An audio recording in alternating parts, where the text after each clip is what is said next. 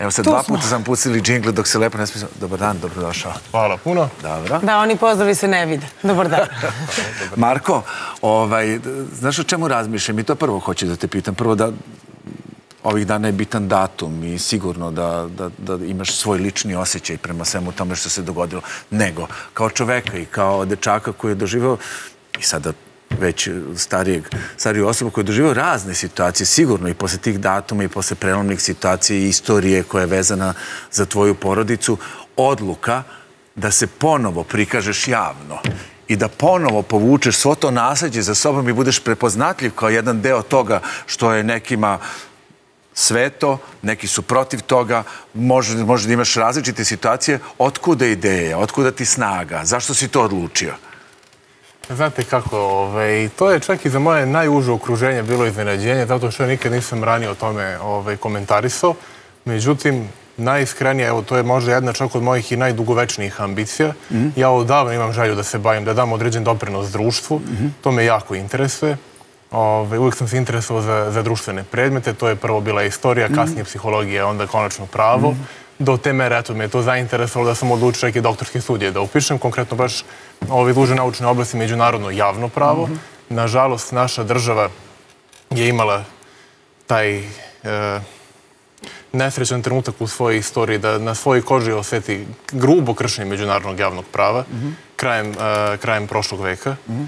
I to znate kako, mislim, nije nešto što bismo mi sad, to je, za, za istoriju je potrebno vreme i to je nešto što je teško razumeti tako na prvi mah, jer postoji mnogo procesa u pozdini kojih ljudi nisu ni svesni. Znate, mi imamo tu predstavu o tome kako, eto, smo mi to nečim izazvali i zaslužili da nam se desi, a u stvari svet se mijenjao tad krajem prošlog veka, počeo od pada Berlinskog zida pa nadalje.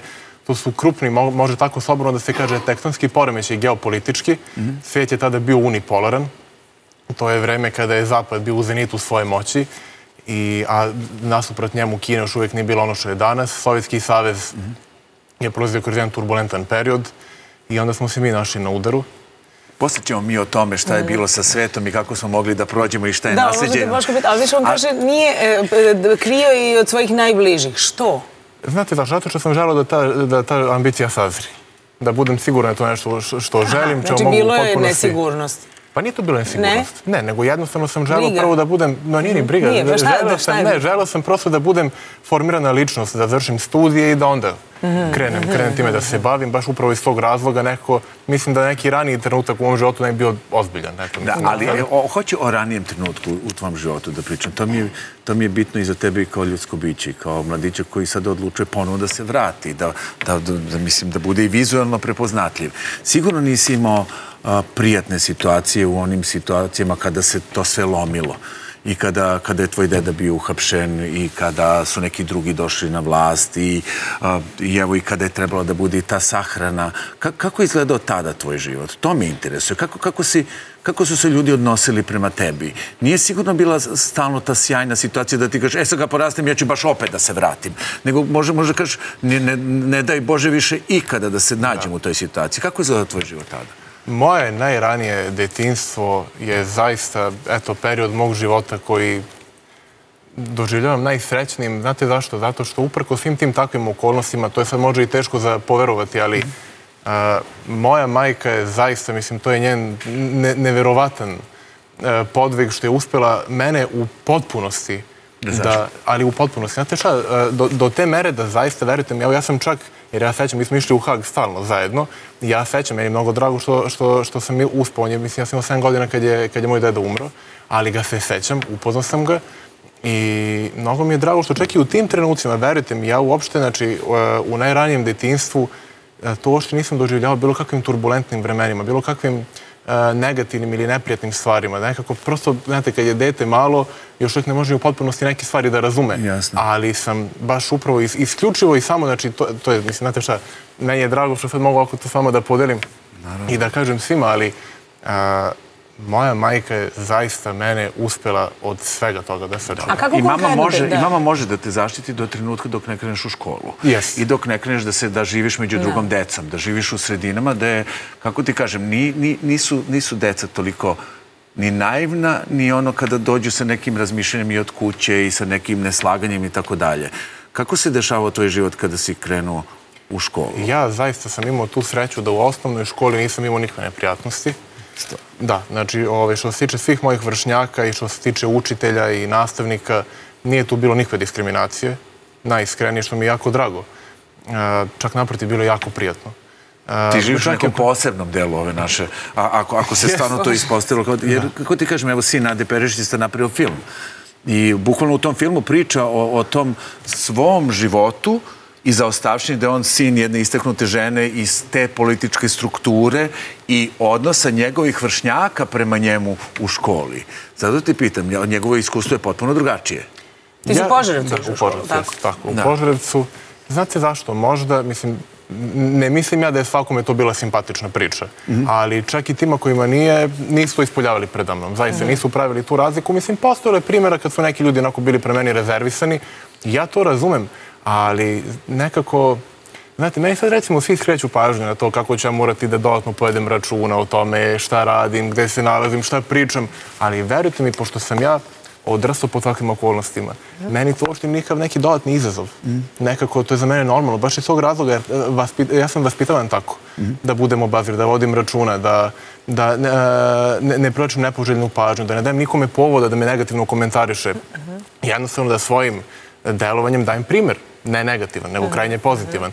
I iz tih razloga, posle i kasnije, kad sam bio malo stariji u srednjoj školi, e, mene, moja majka je insistirala na tome da budem odličan džak, baš upravo iz tog razloga. Čak ako bi neko želeo da bude, e, ako bi neko želeo da me diskriminiše, da mu ja ne bi dao preveliki prostor za to. Pa da. Da. Jer znate, mislim, može vas neko da ne voli. A je li bilo uprkos tome?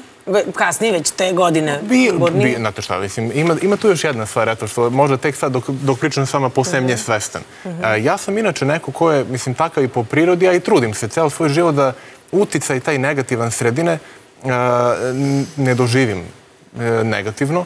Zato, to je za me to ne potrese. Zato što, zašto bi me potresalo šta misli neko meni ko me nije upoznao? Je li tako? Mislim, to je... Da, dok se ne ubaciš u javni život i politiku, onda... onda pa, ne, ja znam, ja, ja to sve radim. Pa, koliko je bilo ovih ovakvih sad, baš, znači, kada sam ja ušao u glavni odbor SPS-a, kakvih je to sve bilo naslova. Mislim, ja se trudim to i da ne čitam uopće. Meni su onda slali prijatelji, ali mene zaista ništa toga nije pogađalo, jer znam da to je daleko od istine. Sad, znate, tu priču o tome kako... To sam negde pročito, eto, kako ni porodica Milošević nije ostala imuna. To je, e, slobodni nasljednici nisu ostali imuni na na neke dogovore. Ljudi umeju da, mislim, mogu da veru u šta žele, ali kad je u pitanju moje političko angažovanje, zaista, evo, to bih volio ovako javno da kažem i svako toga da bude svestan, a i godine će to da pokažu koje su pred nama. Ja imam najiskrenije i najozbiljnije moguće ambicije. Eto, u šta ti veruješ? Ja verujem u to da svaki čovjek, mislim, znate šta, sve što ću da kažem će da zvuči previše možda idealistički fantastično, ali ja to iskreno... 23 godine. Kad ako ne sad? 25. 25, sve jedno. 20 ima, čovjek mora da bude idealista, inače je taj život promašan. Jeste, jeste, ja zaista, ali znate kako, ja bih to nazvao e, realnim, realnim, ovaj, realnim optimizmom. E, ja i tekako dobro razumem i okolnosti, i prilike, i koliki je prostor, ali uprko svome vidim priliku. Ja zaista mislim da svaki čovjek ako ima iskrenu ambiciju, nije bitno šta je to, to što ne mora bude politika. Mi imamo, mislim, punje sve takvih ljudi koji su verovali u to što čine i konačno su na kraju uspili da osvare te rezultate u koje su verovali. Ja mislim uh, da prvo bi uh, politika trebala da se tiče svakog čoveka, zato što ipak ne mora svako da bude aktivno u tome. Jasno, jasno. Ovaj, ne mora svako da učestvuje, ali bi moralo da vodi, uh, da to prati, da, da, da razume procese oko sebe, zato što je to društvo u kome živi. E sad, to je usko povezano sa nečem, ako dakle, već pitate u što ja verujem i koje su to moje ambicije, sam pričao već i ranije o tome. E, ja mislim da mi e, trenutno, još ne mislim da, to, da se razumemo odmah, znači da se ne radi to o bilo kakvom nekom ličnom sad propustu, ošto ne radi se o bilo čijem propustu, nego e, sve se mijenja, tako, pa i društvo se razvija. Mislim da je sada zreo trenutak za to da počnemo da razmišljamo o tome da u osnovnoj i srednjoj školi deca počnu da uče o tome o osnovnim pojmovima, pravnim i ekonomskim, da bi sutra dan kad bili odrasli ljudi mogli da razume u stanju u državi u kojoj živi, ne samo svoj, nego u celom svetu. Zato što šta znači dati nekome pravo da glasa ako ne razume zašto glasa? Ja mislim da je nedopustivo to da ljudi, recimo, na primjer, evo, završite osnovnu i srednju školu, neki završi fakultete, sad sticajmo okolnost, ja sam pravnik, pa znam nešto o pravu, ali i ljudi koji su, recimo, završili medicinu su također, eto, oni su jako stručni za to čime se bave, ali pravo, politika i ekonomija pogađaju svaku čovjeku u jednakoj meri. Tržište, je nešto sa čime smo mi u interakciji svi, svakodnevno, je li tako? Recimo, na primjer, i to ne moralo da se ide toliko u detalje, do te mere sad, da me shvatite pogrešno, neko da misli... Ne, shvatim da nego... Ne. Posle ću ti besati, završi. Ove, a... Gledam, gledam, moram da ti kažem odmah. Moram da ti, i da budem do koske iskreno. To je apsolutno. A ti se naravno nećeš uvrediti. Ne. E, znači, ti sad imaš 23 godine, kad sam ja imala 20 i kusur godina, ja sam bila mlada od porašica demonstrirala protiv tvog dede i razmišlja, mislim, protiv vlasti u tadašnjoj zemlji koja se je odrasla, protiv ratova, protiv svega što je po meni tadašnjoj isto snažno verujući da radim pravu stvar i da se borim protiv toga da moja zemlja ide dalje u pakao rata i da ljudi ginu i da se zemlja raspada. I razmišljam kako je život čuda da sada, eto, koliko godina kasnije, ti i ja sedimo ovde, razgovaramo bez ikakvih uh, uh, strasti.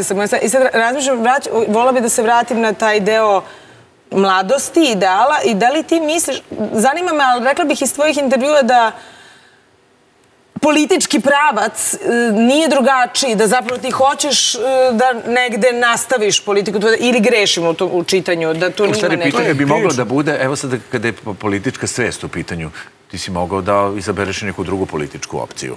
Izabravši istu političku opciju i na osnovu onoga i na osnovu je li to je li to po defaultu taj put ili prosto smatraš da... naprotiv? Nije pošto nije po defaultu. Ja sam se uvijek ceo život trudio da prema tome pristupim objektivno, mhm. jer ja mislim da samo zato što je neko moj... Ne znači obavezno da on upravo... Ne, baš me zanima kako gledaš na taj Ne, ne, ne, nikako. Znači, znate, po čega to jednostavno ne je bilo, mislim, ne je bilo pošteno. Je li tako? Znači, ja sam se uvijek trudio analizirajući te događaje. Eto, ja nisam nisam ni učesnik ni svedok tih, tih tog vremena, ali sam se trudio ljudi koji jesu bili da naučim i to sa obe strane. Baš me interesovalo šta je to ko ljudi koji su bili za i koji su bili protiv. I koji ti je sad zaključak? Jel imaš neki... Im, da, imam zaključak, da. Pogotovo iz ove moje pozicije, jako me zanima. I ja znam, mislim, sad kogod mene bude slušao, ja koliko god bio iskren i pokušao da budem nepristrasan, neko će reći, ali da, on priča o svom dedi. I okej, a šta da radim, mislim, to ne mogu da promijenim, jer tako, ali, znate kako, sad bez ikakve sad ovde e, e, idealizovanja te cele situacije. Znači, naša zemlja, mislim, neophodno je samo da šira javnost razume nekoliko ključnih činjenica u tom istorijskom procesu. E, velika država SFRJ je bila takva da nije, da njen ustav nije dozvoljavao raspad. Raspad je otpočet, je li tako? Da. Živo je narod na teritoriji te države, pritom srpski narod koji nije živo samo u Republici Srbiji, je li tako? I to znam. I taj narod je mora da bude zaštićen, je li tako? Znači, mislim, to je ne samo što mora da bude zaštićen, nego ako su po istom tom osnovu, po čemu su bivše republike eh, tražile svoju nezavisnost, eh, uh, imali su jednako pravo onda i te grupacije našeg, našeg stanovništva, odnosno stanovništva koje je želelo da nastavi da živi u toj državi u kojoj je živjelo do tada, stekne teritoriju. Njima je to pravo uskraćeno. Eh, da se razumemo odmah. Ja ne mislim da je, znači, rat je nešto što bismo morali po svaku cenu moguću da izbegnemo. Znači, to nikad ni za što nije rešenje ali nažalost, sa druge strane znamo da je, kao što sam jednom prilikom čuo, žao mi što ne mogu svetim ko je to rekao u jutarnjem programu, neko od istoričara je bio i rekao je mi moramo da budemo svesni da je ljudska istorija ratna istorija. I to je tako. E, jednostavno, ljudska egzistencija je obeležena time. Zašto? To su takvi nivoj civilizacije gde drugačije sredstva komunikacije nisu postali, ostvarivanja ciljeva. Kako se bližimo tome da je svet razvijeniji nego ikad i humaniji nego ikad počeo od e, kraja drugog svetskog rata, što je također jedna paradoksalna pojava, zato što je to period najvećeg mogućeg ljudskog stradanja i istovremeno doprineo je tome svojim zaključenjem da e, mir i bezbednost budu najviši mogući cilj. To je, to je sama suština postojanja Ujedinjenih nacija, na primjer, celog, celog tog poredka uh, na, na temelju povolju Ujedinjenih nacija. Upravo to, da se to nikad ne ponovi. I hoću da kažem da ti, ja ne bih niko htio da izvedem kao zaključak da je vredelo toga, tih, znači 70 mhm. miliona ljudskih života, ali je činjenica da na teritoriji Zapadne Evrope, nažalost, pa smo mi tu bili izuzeta krajem prošlog veka, rata više nije bilo. Sve do ovo rata u Ukrajini. Tako da to je, to je... Nisam baš razumela što hoćeš da kažeš. Hoću, da, hoću da kažem, znači da ovaj, kad je u pitanju rat, znači sad kad vi mene pitate da li je to nastavak te politike, volio bi da se razumemo odmah, znači to je širok pojm kad vi kažete politika Slobodana Miloševića i to je pogrešan zaključak kada neko kaže da je rat. Da ga prevedem seljački.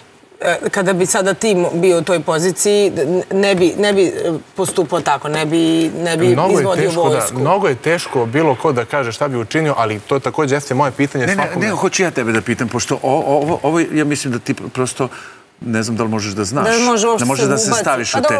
Da koliko ćeš trošiti vremena, o, to, to je istina, na opravdavanje određenih postupaka. Znaš da su neki ljudi a priori protiv toga i neke, neke, neke činitbe govore u prilog tome da nije bilo idealno i ne može ni da se podvede pod idealno.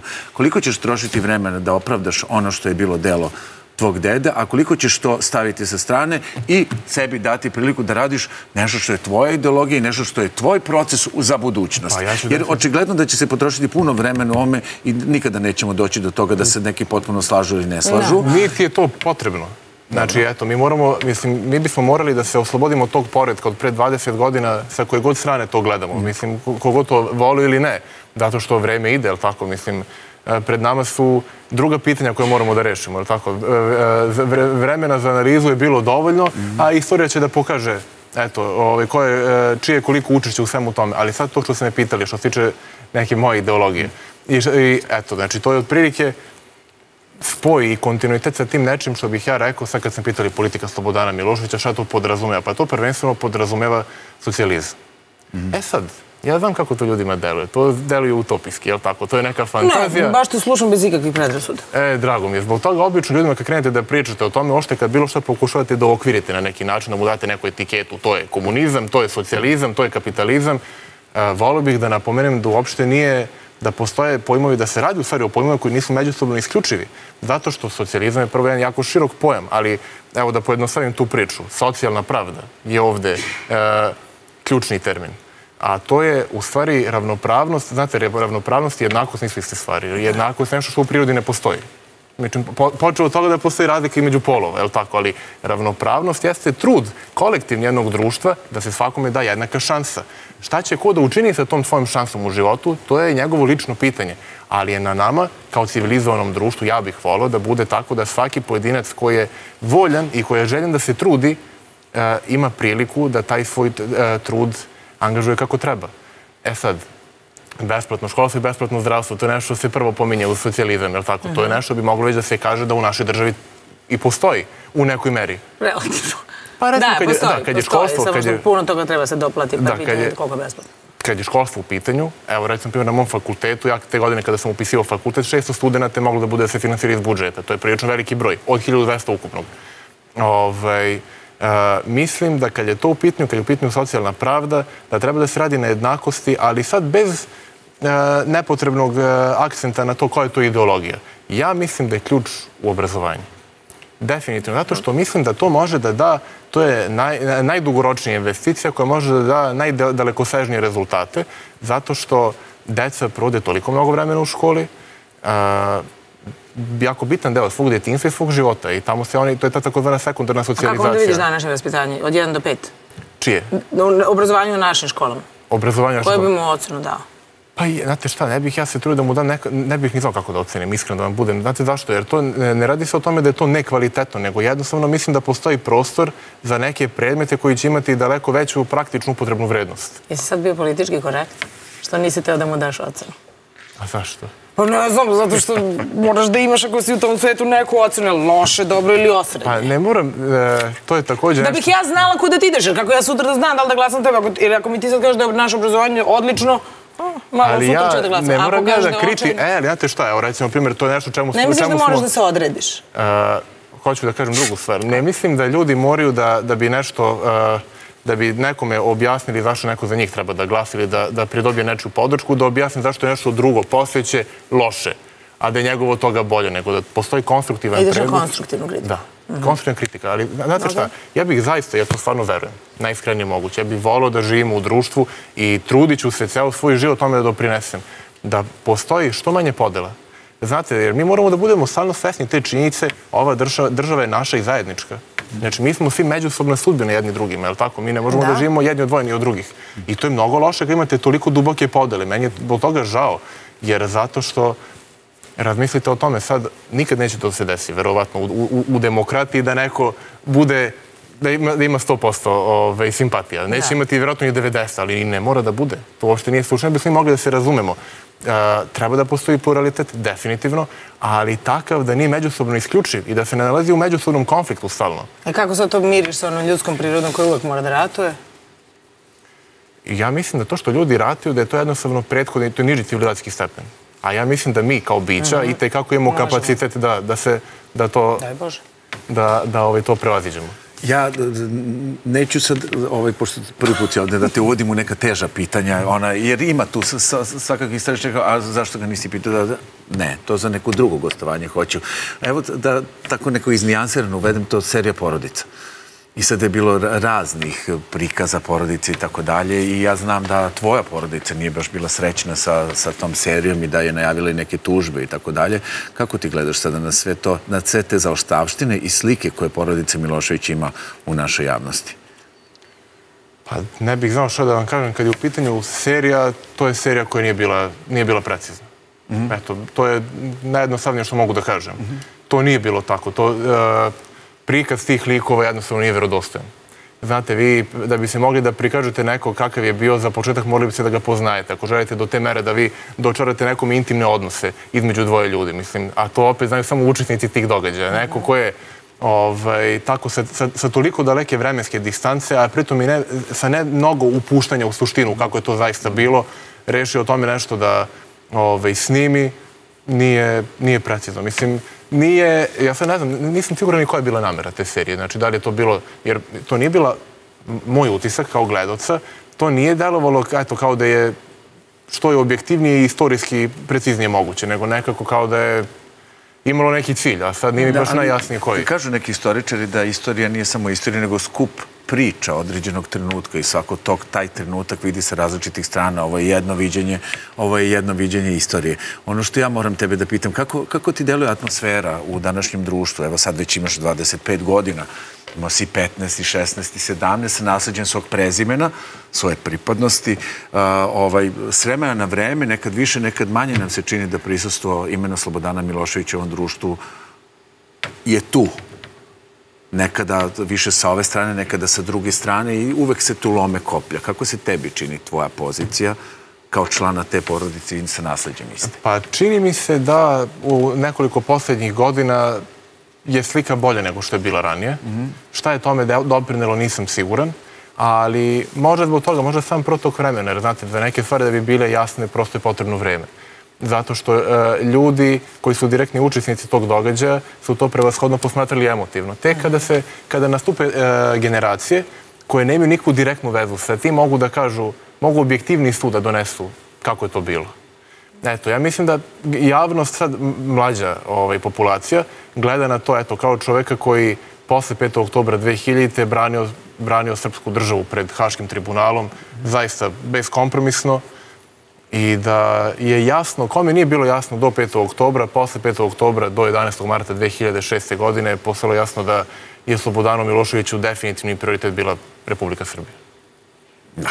A, Ne, ne, ne, ja ću da mudro čutim da... da. Ja, da, da, zato što sad mogli bi mi mnogo pitanja da postavimo Vi i na... možete slobodno da znate što se mene tiče. Pa, hvala vam puno nalaziš, što ne, ste... jel nalaziš neke manjkavosti? Eto, to, toliko ću samo, pošto uh, hoću da ispoštujem i to da smo, da smo domaćini. Nalaziš neke manjkavosti u tom nekom posljednjem periodu vladavine Slobodana Miloševića i, i, i, eto, i, i Mire Marković i to? Ja mislim samo da bi za njega lično bilo, mislim, daleko srećnije i bolje da je, da, eto, da, da nije, da se završi taj posljednji predsjednič, znači da nije išlo ni do 2000-te, nego da, ja ne znam, pre toga su bili, mislim, izbori 97. Da se na tome završilo, ali opet, s druge strane, neko bi to mogo da uh, doživi i prokomentariše kao kukavički. Jer sa jedne strane, ne znam zbog čega, to je mnogo nezgodno, ja sam mnogo vremena posvećivo toj, ce- to- tom celom procesu. Uh, sa jedne strane, vi imate narod koji za vas glasa, vi uživate podršku, je li tako? Mislim, sad, svidelo se to nekome ili ne, ja ću ponovo da kažem, evo, da budemo objektivan, znači da ne bude se ovdje priča samo o Slobodanu Milošiću krajnje afirmativno, E, mi možemo da ne volimo, evo sad izvinite, mislim, evo, ko što svi meni sve, rekli, mi možemo, znači, koji, koji, koji smo bili na toj strani da ne volimo 5. oktobar, ali je činjenica da su ti ljudi tad bili na ulici, činjenica da su ti ljudi tad glasali. E, Što se tiče ishoda, to se razumemo odmah, znači što se tiče ishoda tih izbora, za za mene to nije definitivno, jer se to Ne. ne zna. To se ne zna. To se ne zna. ne. Tvrdim da se ne zna. Ali uprkos tome, uprkos tome, uh, očigledno da je postala velika podeljenost. Nisam, kad kažeš, tvrdiš da se ne zna, da možda ipak nije izgubio Da. e, izbore. Da. Na osnovu čega to tvrdiš? Pa na osnovu toga što je to bila prva informacija, a drugo što zbog čega je 5. oktobra paljena bila skupština. A o tome ne možemo slobodno diskutujemo, nego ovaj rezultat mi se činio bar do sada Ja ne, mislim da to nije definitivno, ali u svakom slučaju i da jeste i da nije, znači, o, e, stanje u društvu je bilo tako da su ljudi želi da nešto bude drugačije i ja to razumem i treba se poštuje volja naroda. I hoću samo da kažem jednu vrlo bitnu stvar.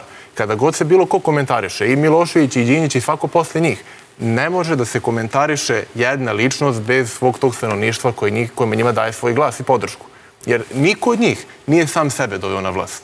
Sve, sve njih je neko glasao, jel tako? Tako da vi kad ste protiv nekog, mislim što je okej, naravno, meni je samo krivo što ljudi to do te mere doživljavaju emotivno. Da, da ne može da se komunicira i da ne mogu da se razmenjuju hoću da napomenem još uvijek jednu vrlo važnu stvar. Uh, ni- tim ljudima je najteže i zaista to je nešto, mi- ja, uh, to nema, ne postoji reč utehe za ljude koji su izgubili nekog u, u, u- u svim tim događajima. I, ja, raz- I u ja, ja mogu- događajima da, pre. Da, ja mogu, znači kada, kada su ti ljudi u pitanju, ja razumem uh, i, i, i svaku kritiku i svako protivljenje zato što ništa nije vrednje ljudskog života. Ja se sa time slažem u potpunosti. Ja hoću ovdje, kad, kad pričamo o tome da je neko protiv, pričamo o ljudima koji, eto, ne bi inače imali razloga da, da nemaju zajedničku komunikaciju i saradnju, a dozvoljaju sebi da budu toliko podeljeni zbog svoje opredeljenosti. Da. A, kada, kada još malo provedeš e, vremena u ovom, ovom političkom životu i ovom javnom svetu, mi ćemo pokušati dođemo do tebe da pričamo i na mnogo ozbiljnije stvari, a po pitanju zaostavštine svega onoga što čini e, prezime Milošević, dobre, loše, one oko, oko kojih se ne sporimo da nisu bile toliko dobre. A, za, ovo, za, ovo, za ovo viđenje ja, ja ti želim nekako da napraviš a, i, i svoj način. I nekako imam ideju da ćeš morati da napraviš i nešto što jeste tvoj put u ovoj politici, a ne samo ono što je za ostavština.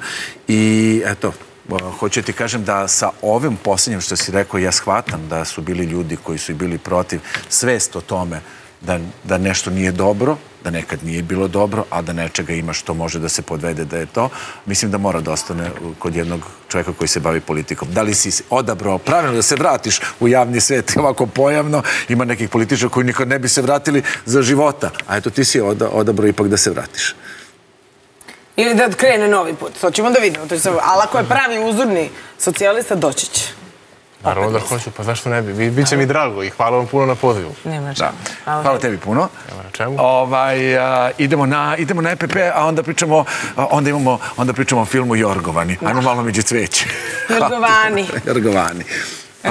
Nemoj još da bežiš, neka odeš pica. Dobro. Mi smo K1 televizija. Gledajte nas na ovim kablovskim operaterima.